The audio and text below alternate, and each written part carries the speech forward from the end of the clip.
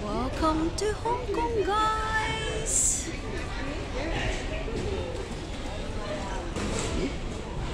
Ay, namin. Hmm. With a golf bag.